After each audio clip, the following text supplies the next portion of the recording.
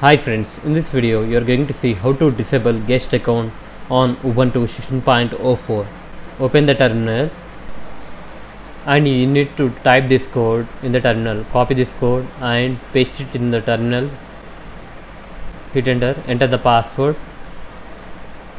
It will open a file lightdm.conf. If it is empty, you need to paste three lines. I will leave these codes in the description box below so that you can easily copy paste it. You need to copy these codes.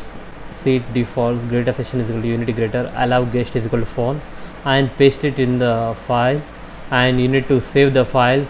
Once you have saved the file, you need to close. After that, you need to restart the system for the changes to take place.